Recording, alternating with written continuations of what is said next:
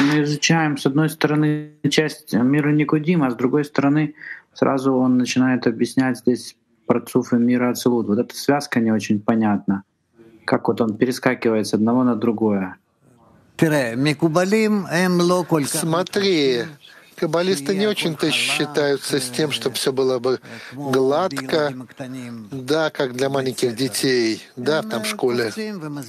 Они перескакивают и объясняют, а ты должен перескакивать вместе с ними и постараться так вот, постараться быть в том состоянии, когда свет входит в тебе и образует килим, а иногда это на самом деле совершенно непонятно, что происходит. Ну так. И Рабаш тоже так сказал. Как тяжело, а где это, почему это так? А потом вот постепенно это все проясняется. Так вот это написано.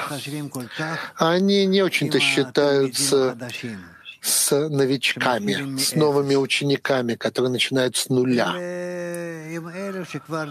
А с теми, кто уже находится да, в каком-то постижении и хотят в этом продвигаться. Я понимаю вас. И я тоже я не очень-то далеко ушел от вас. Ну, будем стараться, насколько возможно.